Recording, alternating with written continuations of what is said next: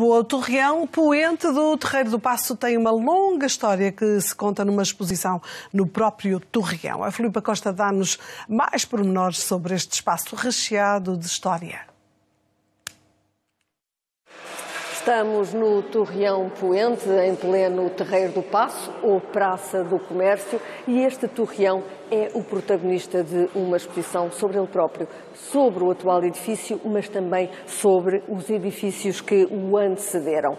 Quem nos vai contar pormenores sobre esta exposição é Joana Sousa Monteiro, que é a diretora do Museu de Lisboa, museu onde também está integrado este torreão. Joana, um torreão que teve, como eu referi, dois edifícios anteriores. O primeiro começa no século XVI. Exatamente. Temos aqui uma história muito especial para contar, achamos nós. uh, temos três torreões que foram acontecendo em Lisboa, mais ou menos no mesmo sítio, ao longo de vários séculos, desde o século XVI até agora. E continuamos com o terceiro. Primeiro com o Dom Manuel, quando o Dom Manuel entendeu por bem deixar o castelo de São Jorge e construir um palácio mais ao gosto dos reis da sua época e com o seu poder, e construiu o Palácio da Ribeira. E depois acrescentou-lhe um torreão, que foi o primeiro destes três. Ora, estes edifícios, portanto, primeiro a seguir sucede um já no reinado filipino, digamos assim, na dinastia filipina, é e este Torreão está agora então a ser o protagonista desta exposição que dá a conhecer toda a história deste local, uma história que vai até ao século XX, Exato. e é uma exposição muito recheada de muitos objetos, muitas peças que ajudam é também a contar esta história. É verdade, é verdade. De facto, temos aqui a pintura, a gravura, a tapeçaria, a orivesaria, fotografia e hum, objetos que vão documentando como foi viver no Torreão e como é que foi, sobretudo, a importância deste edifício como, diríamos hoje, imagem de marca de Lisboa durante tantos séculos.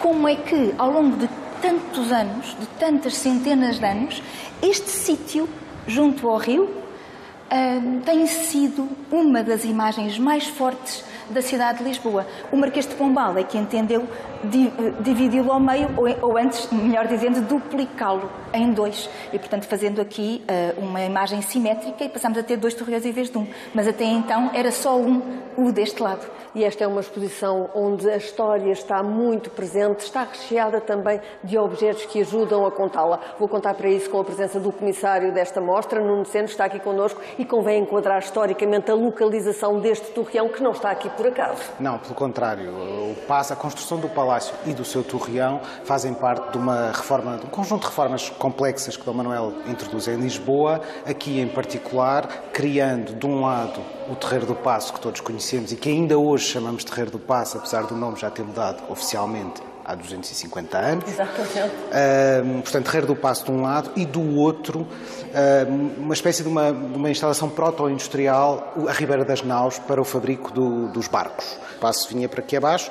terminava no Torreão, abria estes dois espaços urbanos uh, e configurava-se originalmente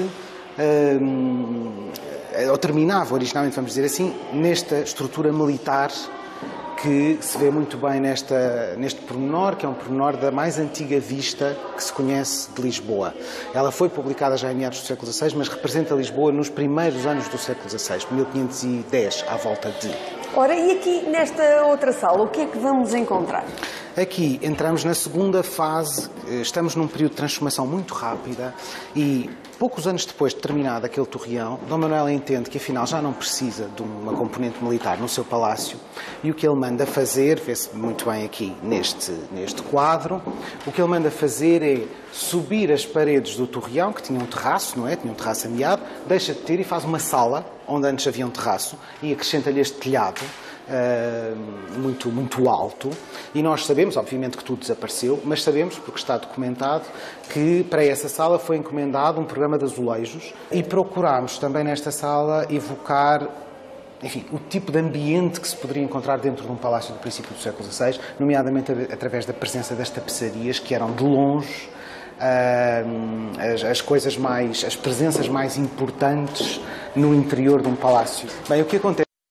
Nós não sabemos porquê, mas o torreão ao longo do século XVI vai caindo em desuso depois da morte de Dom Manuel e estas peças que aqui temos mostram precisamente o desaparecimento desse torreão.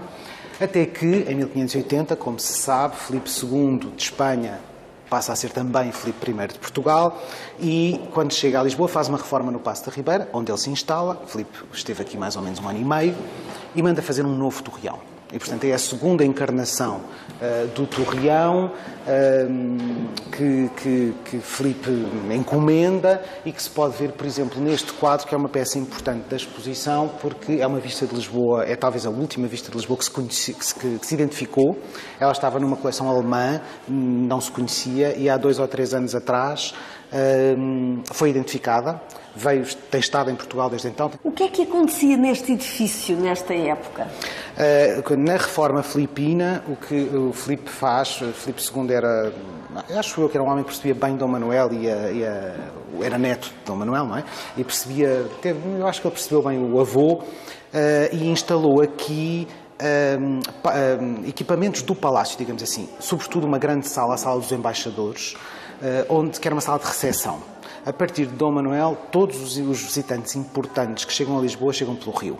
Incluindo o próprio Filipe, que vem de Tomar, mas não vem por terra, ele vai para Almada e espera em Almada que a cidade esteja pronta, que os seus festejos estejam prontos, e então entra em Lisboa, em apoteose, pelo rio. Uh, a sala dos embaixadores é uma sala de recepção, é uma sala de aparato, digamos assim, sobre o rio, não é? Instalada no Torreão, e sabe-se, também desapareceu, mas conheço, há um documento que descreve que tinha um teto uh, pintado, onde estava no centro as armas de Felipe com as armas de Portugal em cima, como foi então uh, negociado, o que nós evocamos aqui através daquele fragmento de um, de um teto uh, do, do, da época.